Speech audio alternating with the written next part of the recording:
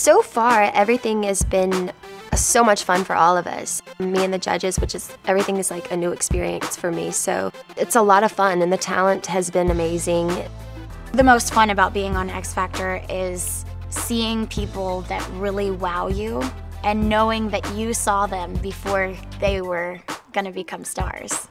And it really is just an exciting feeling. Wow.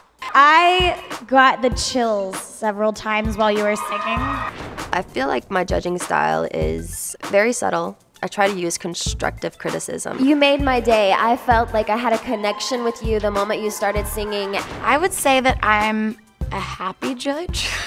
I don't know, I'm really, really honest. That's the great thing about this panel is we're really honest. I want to know who let you on stage.